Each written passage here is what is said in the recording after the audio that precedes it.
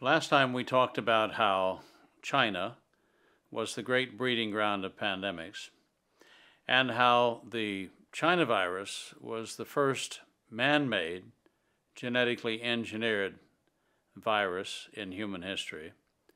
And we also talked about how the creator of the China virus, the virus that causes COVID 19, the disease, was none other than Dr. Shi Zhengli. Dr. Shi was, of course, trained in the United States at several U.S. labs. But what might surprise people to learn is that not only was she trained in the United States in gain of function research to make viruses, coronaviruses specifically, more deadly and infectious. She was also funded by the United States, funded using your tax dollars and mine, in carrying out this dangerous, reckless research. How that came about is a story unto itself. One of the principal cheerleaders of gain of function research from the get go was the now famous, or infamous if you prefer, Dr. Anthony Fauci. Dr. Fauci was arguing soon after it became possible to genetically manipulate viruses of all kinds, including coronaviruses. He was arguing that it made sense to engineer in the lab highly infectious and highly deadly viruses in order to anticipate nature. His argument was that from time to time, zoonosis occurs, deadly viruses cross over the species barrier into humanity, and we have no defense against it. And so, in order to devise a defense, he argued, we need to create monster viruses in the lab. We need to anticipate the next zoonosis, create deadly and infectious viruses in the lab using gain of function technology, and then develop therapeutic drugs to cure them and vaccines to immunize people against them.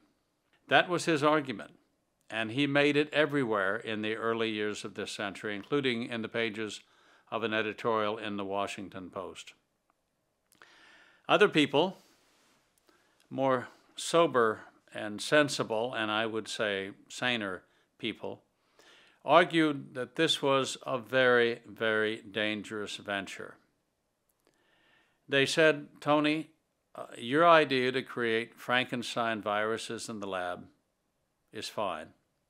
But what happens if your Frankenstein virus, your highly infectious and deadly virus that you created using gain of function research, escapes from the lab before you have a therapeutic drug to cure it and a vaccine to immunize people against it?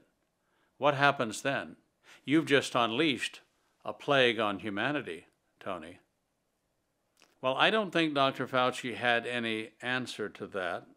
And as a result, in 2014, in the United States, there was a moratorium placed on gain of function research.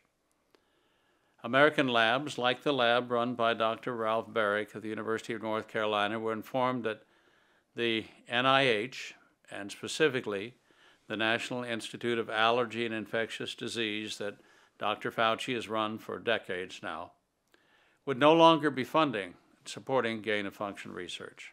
Now, presumably, Dr. Fauci was very unhappy with that decision because he was the principal advocate of gain of function research.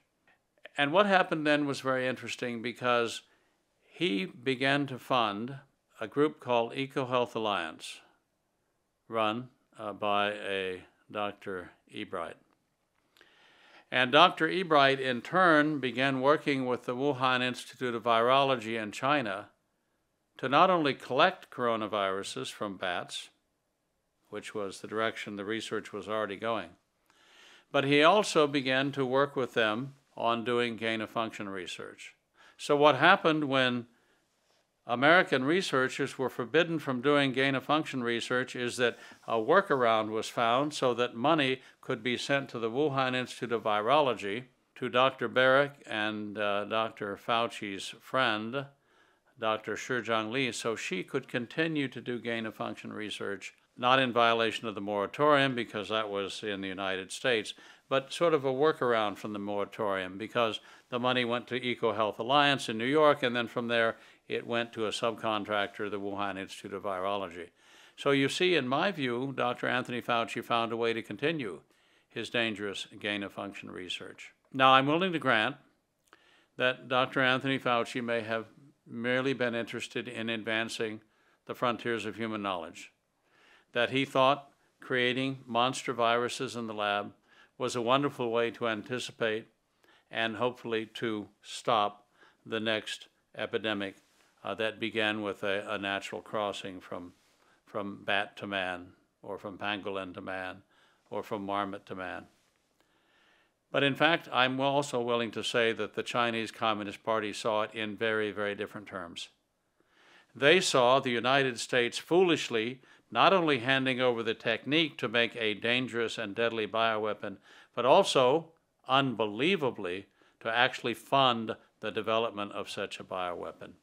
Because remember, the Wuhan Institute of Virology, according to our own intelligence services, was working with the People's Liberation Army's bioweapons program. So we not only trained Dr. Shi in the techniques of how to develop a bioweapon unwittingly, we also funded her efforts to do just that. So she was taught and funded by us. And the result was the uh, SARS, coronavirus 2, as the World Health Organization likes to call it. I like to call it the China virus, as you all know, because it came from China. As for the release of the virus, once they had the virus ready in the lab, they had one more step to go through before releasing it upon the world. They needed a vaccine to protect their own people against the virus, the deadly virus they had created. And so I believe by early 2019 at the latest, they had the China virus ready to go and they were working on a vaccine.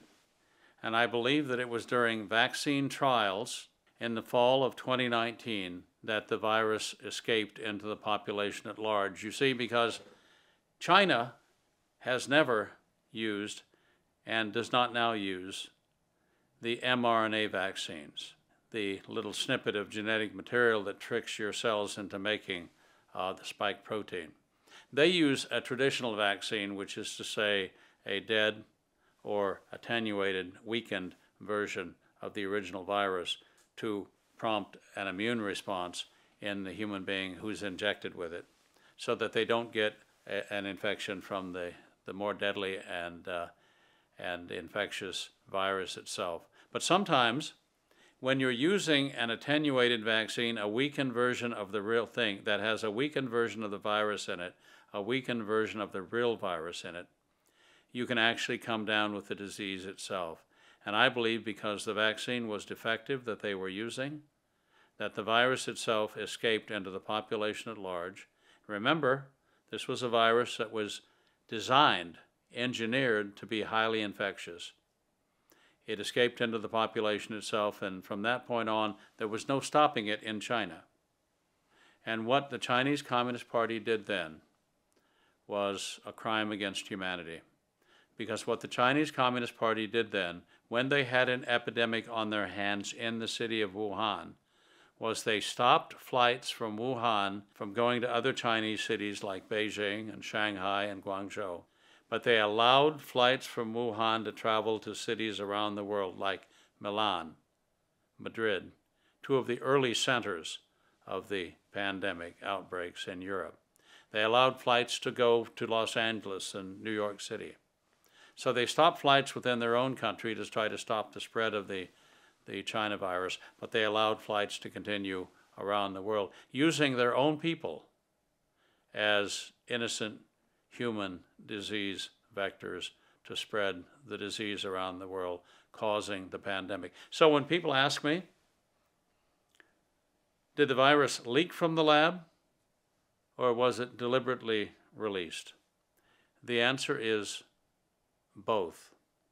It leaked from the lab, in a sense, during vaccine trials because it infected people with the real disease. And after that, it was deliberately spread around the world by a deliberate decision of the Chinese Communist Party leaders to bring down the rest of the world. They were not going to let China suffer alone through the coronavirus epidemic. Uh, they set out to make it a pandemic. That's exactly what they did. And the result is millions of dead and trillions and trillions of dollars in economic damage.